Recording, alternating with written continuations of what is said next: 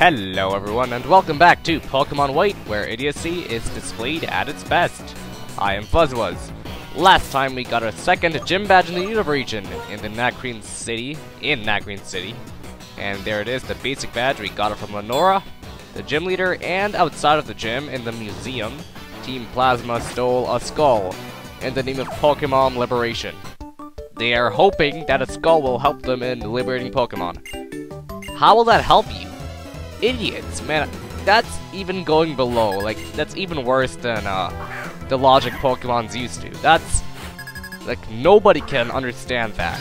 I'm probably overreacting, but hopefully Team Plasma has a good enough reason to help me at least understand what they're doing, because stealing a skull will not help you in anything. We'll, we'll see what happens. Anyway, uh, here's a Sewaddle, and these two people have Sewaddle, and after this double battle, we'll be uh, going into... We'll be uh, taking on Team Plasma, so yeah. Anyway, a uh, new Pokemon can capture in this area, obviously a Sewaddle over here. And you can capture another Bug-type Pokemon, Sewaddle's Bug and Grass. Another Bug-type Pokemon can capture Venipede, Bug Poison, in the normal grass patches. Also.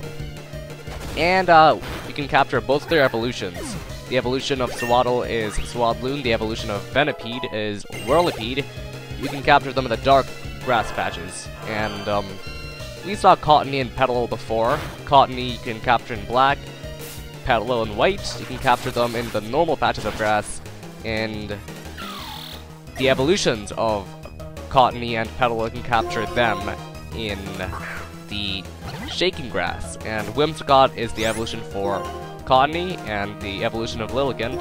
The evolution of Petilil is Lilligant. And one more thing, the evolution of Pidove, Tranquill I think it's called, you can capture it in the dark gra grass patches, so that's cool. If you want to pick that up, and go on ahead.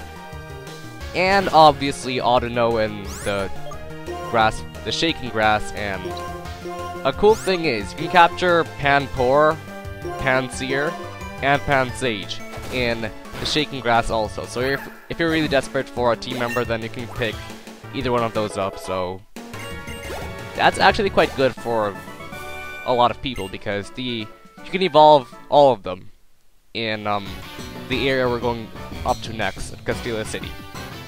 Let me rephrase that. Not all of them, but you can evolve at least one of them, whichever one you choose. So that's really good. And healing up, and time to head on to Team Plasma.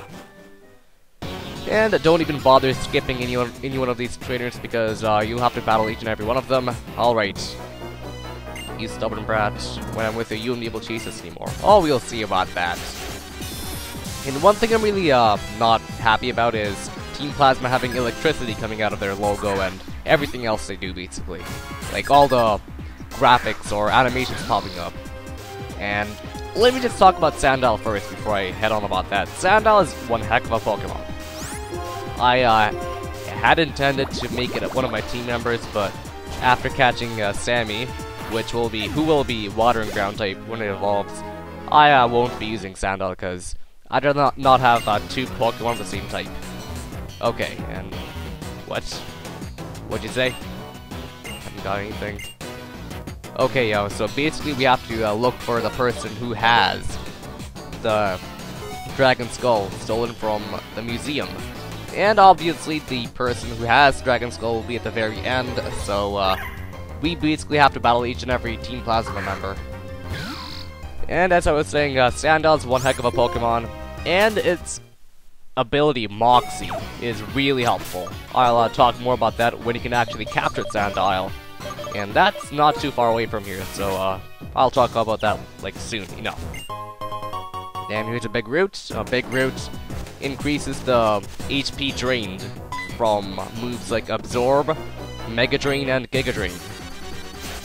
And I'm not sure if that applies for Leech Life also, but it might, or it might not, because Big Root sounds like something for a grass type move, and Leech Life is not a grass type move. Anyway, as I was saying, I'm not too happy about Team Plasma having electricity coming out of their logos and animations because Team Plasma really is something for both Reshiram and Zekrom, the legendary Pokemon in uh, Pokemon White or black, or, or vice versa, actually. Both. They, they apply to both, and using electricity doesn't make any sense. Because it should be fire or or and electricity because when you're just using blue electricity, it applies to Zekrom and not Reshiram.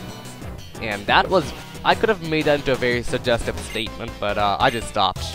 But do you think I'm a type of girl who didn't carry a heavy load? Ah, uh, yeah. Anyway, uh, Ranger Forest has got a herd here, and I highly recommend for noobs or novice trainers. Novice trainers, really. Novice, uh, players, or new players to the game to pick up after, after actually take on each and one of these rangers because they give off berries, which will help you out in the main journey, I guess. So, um, really battle them if you're in a desperate need of getting berries like status ailing, status ailment berries, like that heal you. Anyway, Herdier, go Bubble Beam, around, my bad, go around. Yeah, I like adding a variety, because I just hate spamming one attack over and over again when I'm not needed to. Alright, what a huge mistake to lose a battle in Pinwheel Forest. Why? What's the big difference? Okay, whatever. Chesto Berry. Forest is alive, something changes every day, so it's fun to patrol. Okay. And I'm pretty sure that mossy rock over there, you can um actually train your Eevee, and it'll evolve into a Leafeon over there. I'm pretty sure about that, so if you want to do that, that's obviously for the post game, you can go on ahead and do that. Because you can't catch you can't catch or even transfer Pokemon from the previous generations into black and white, so that's for later on. And let's see, repulse effect wore off. No hidden items. Alright, alright then, uh, I'll be heading on over here. And seems like we got an optional battle with this youngster. And of course, before that, I have to get into a wild Pokemon battle. Great. Okay. And time to take you on. And his first Pokemon is a Venipede. And there's a Venipede, the Pokemon I was talking about earlier. It actually evolves into one wicked Pokemon. Um, the evolution of Venipede is Whirlipede, and then it becomes a Scolipede later on. Scolipede's one heck of a Pokemon, but I probably will not be using it because I actually was thinking about it, but I probably won't use it because it's its uh base stats are not that great for in-game use. But then again, any Pokemon can be used in-game, but I want to catch pretty good Pokemon.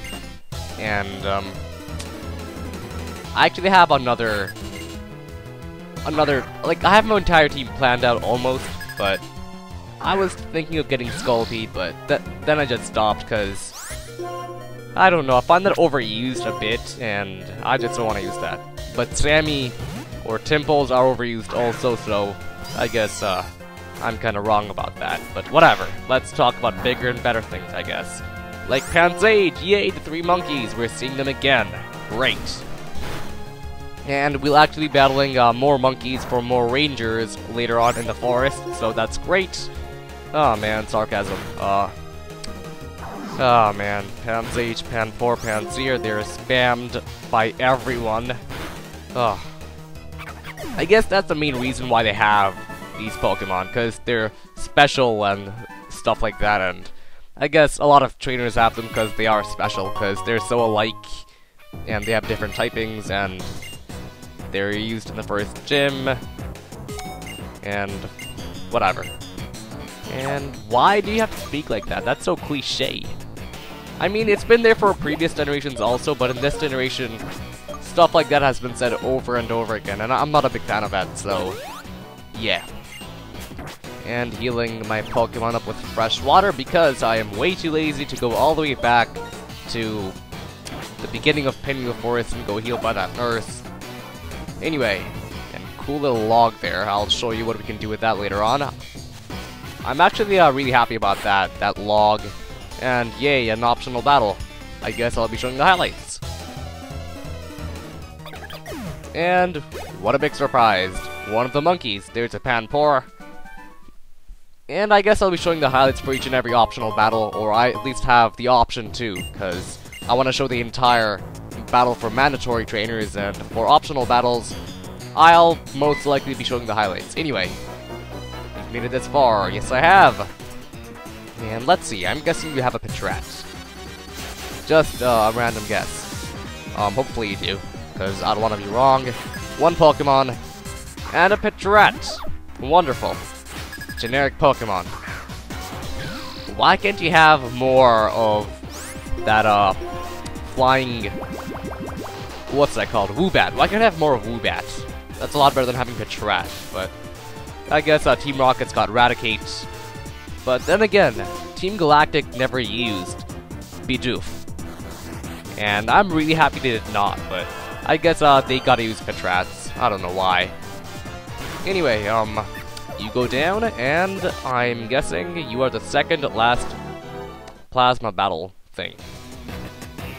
You're just here to buy time. Okay, we'll see uh, how much time you bought, because that was quite quick. And nope, no ranger over there. Let's see here. Dowsing Machine. Pulse off. Okay. And there's a Paralyzio. And having Heart Gold, soul silver is uh, Dowsing Machine would really help out now because all I have to do is tap the Dowsing Machine itself and not go to register and choose which item I want to use because that's kind of annoying to do over and over again. That's one thing I really like about Heart Gold and Soul Silver. The menu system was a lot better. And using Bubble Beam over here. Alright, and you're the last ranger, I'm guessing, because you've got a Pansear, and we've already seen two other monkeys. Okay. Uh, Bubble Beam again. And, um... Yeah, the Dowsing Machine in this generation really sucks. It's too easy to, to find out which items where. And the one in Heart Gold Soul Silver was really, um... High-tech-ish, almost. This one just points to which direction you should go, and I'm not a big fan of that. Anyway, down here, oh, a shaking grass spot, which I'm probably not gonna go to. Um, no need for getting into battles for no apparent reason. Okay, heading down. Dowsing machine. Mm, no, wow, nothing.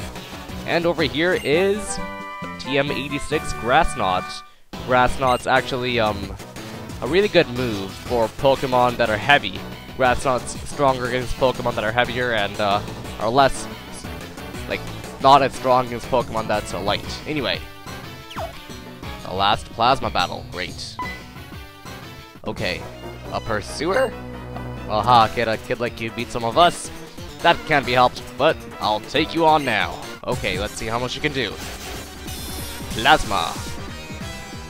Okay, um, this guy's got two Pokemon, and he's probably gonna have two Patrats, because I'm just guessing he's gonna have another Pokemon at the end. Probably a Sandile, because, you know, we've seen Sandile before, and it hasn't been used as much, and they're new, I guess, so I guess that's gonna be his ace. Even though it's quite a bad ace, I guess. And I hate moves like Detect, because they stall time, and that's their only cause. And down goes Patrat in one Bubble Beam. Sammy is a beast. Uproar, what a great move at this point in the game. Definitely teaching Sammy Uproar. It's got 90 power, it's like Thrash, you use it over and over again. And over that time, no one can fall asleep, so I'm not really, I don't really care about that, so let's forget about that. I'll just uh, get rid of the round, because round's also a normal type move. And I'll most likely never encounter a time where uh, will be more effective with its abilities, so forget about that. And detect. Oh man, why? It's stalling time!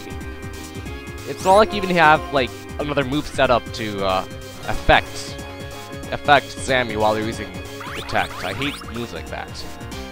Anyway, Uproar. That's actually not that great of an idea, because his, I think his next Pokemon, yep, it is Sandile, so that really might not help me out, because I could have just used Bubble Beam and taken it out. Intimidate does not matter, because Uproar is a special move. Wow, another one at KO, never mind. That went great. We won't save the Pokemon. Well, whatever. Take your stupid skull. Well, okay, I'll take it. Even though I don't see why you needed it. Hopefully you can uh, actually give a good explanation. Okay. your king had. Who's your king? Won't come true. Oh, who's this a funny looking character? Are we holding up fellow subject of our king? Okay. Gorm? Seven sages.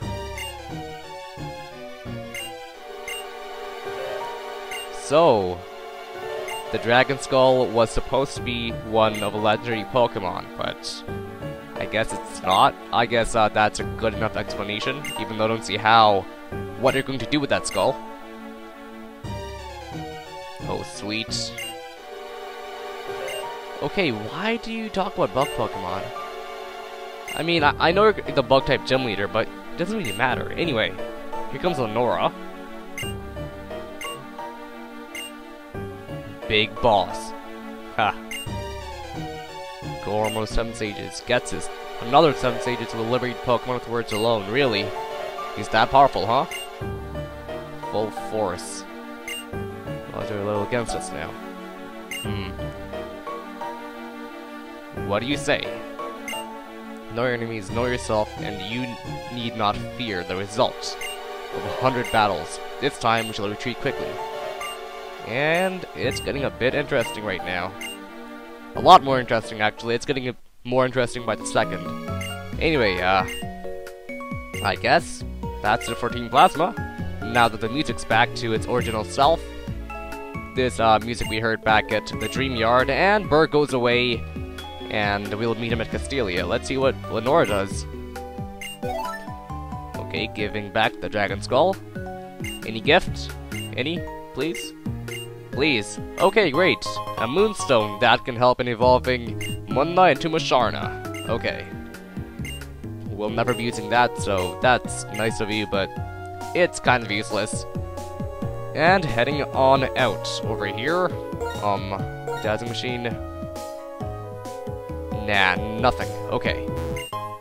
Miracle Seed, and we already have one of those. I should have lied to that girl over there and gotten Mystic Water to help out Sammy. Anyway, I'm heading down, and I can't get that, sadly. I'll just go heal, and I'll talk about stuff later on. And uh, that concludes the intro introductory phase of the game. After this point, the game will actually get a lot more interesting. And I'm not just saying that about the part that's coming up, but the entire game itself will get a lot more interesting.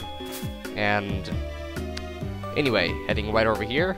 And I told you before, actually I didn't. Um, we'll be coming back to the Pinwheel Forest, and this is the reason why. So that's for way later on, but we will definitely come back here. Anyway, strong Pokemon or fierce Pokemon, whatever.